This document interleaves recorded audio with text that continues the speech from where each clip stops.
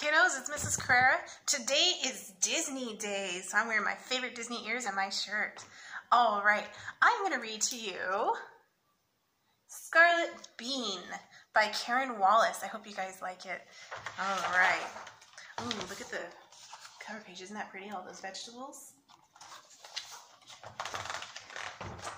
All right.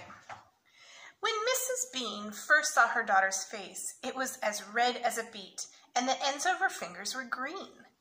We shall call her Scarlette, declared Mrs. Beane. She will grow tall and strong and do something wonderful. And there's a picture of her when she was first born.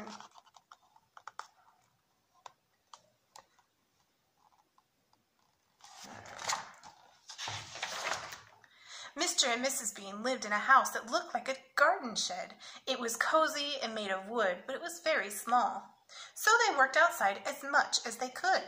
Scarlette lay in her stroller and listened to the flowers grow. And when she slept, she dreamed of doing something wonderful. There's their small little house. And here they are working outside, and there's Scarlette in her little stroller. On her fifth birthday, Grandfather Beane gave Scarlette a vegetable garden. Are some of you guys working outside in your gardens? I hope so. It's sure a lot of fun to plant things and see how they grow. Her mother gave her a set of tools with wooden handles. Her father built a wooden fence to keep out the rabbits. And he made a white gate that Scarlette could open herself. Look how fun that looks. There's the tools and the gate that says no rabbits. And there's Scarlette opening the fence. Scarlette loved her new garden. She pulled up the weeds. She dug in the soil until it was all crumbly as chocolate cake. She planted a row of carrots, a row of onions, and a row of parsley. Here's a picture. All the vegetables in a row? That night, when she went to bed, the ends of her fingers glowed like green lights. Can you see her fingers right there glowing? The next morning, Scarlette ran to her garden. Her carrots were as huge as tree trunks. Her onions were as big as hot air balloons. Her parsley was as thick as a jungle. Look at that. Is that crazy or what? She must have a really good green thumb. Everyone in the village came to help. They used bulldozers to dig up the carrots. They drove forklifts to carry the onions. They cut the parsley with chainsaws. Oh my goodness, look how big that is. Those are huge. Look at the chainsaw down here.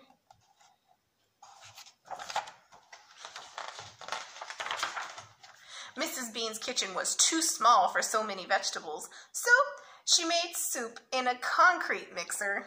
The house was too small for so many people. Do you guys know what a concrete mixer? Look how small her house is. This is a concrete mixer. It mixes concrete. So she made the soup in there. Look, everybody's outside. They're eating soup out of a bathtub. Looks like they're having a good time. So Mr. Beane served the soup in the garden. Everyone said it was the best soup ever. And when it began to rain, they ate second helpings under the table. Here they all are eating. Let's see, it's starting to rain. There's some drops of rain coming down, so they decided to get under the table. That night, Scarlette Beane dreamed of something wonderful. She crept out of bed.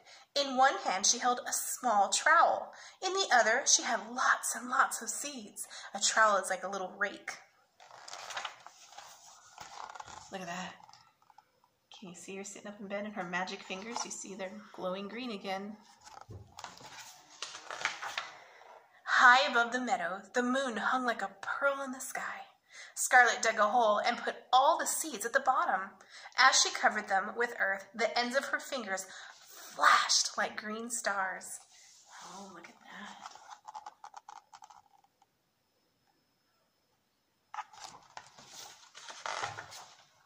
The next morning, the sun rose like a huge golden coin.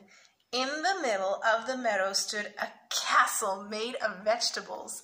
It had turnip turrets and a drawbridge, drawbridge held up by corn cobs. A cucumber tower stood at each corner. Look at that. Is that cool or what? Now she has somewhere bigger to live. Mr. Beane couldn't believe his eyes. It was the house of his dreams. Mrs. Beane kissed her daughter's face. I knew you'd do something wonderful, she whispered. Scarlette Beane was so happy she turned as red as a beet, and the ends of her fingers sparkled like fireworks. There's their little tiny house. Look at her fingers sparkling.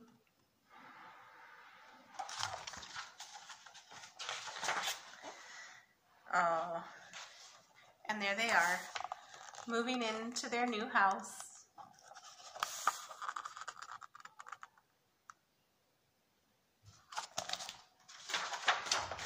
And that is the end of our story, friends. I hope you like that, and I hope that you guys are getting outside and using your gardening tools and planting seeds. All right, my friends, I will see you later. Have a great day. Bye.